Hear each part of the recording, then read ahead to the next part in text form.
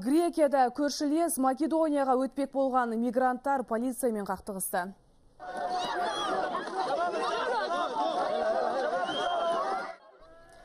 Тәртіп сақшылары бой мербеген мигранттарға қарсы күш қолданды. Өткені ашуға бұлыққан босқындар екі елді бөліп тұрған қоршаудан секіріп өтпек болған. Жалпы соңғы уақытта өңірдегі жағдай ушығып тұр. Бұған дейін Македония Грекиямен арадағы шекарасын жауып тастаған еді. Салдарынан Идоменидегі босқындар лагерінде бүгінде 12 мыңға дейін адам жиналып қалған. Олар негізінен Ирак, Сирия, Ауғанстан азаматтары.